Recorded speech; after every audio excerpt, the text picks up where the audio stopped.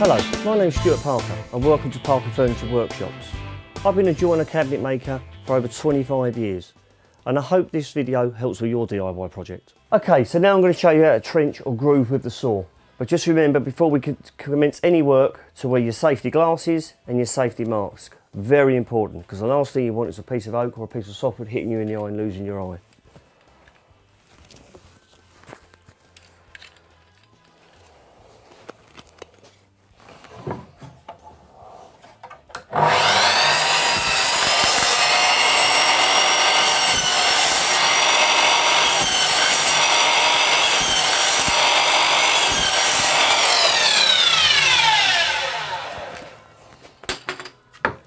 So there you have it. All I simply do now is get my chisel, remove that out of there,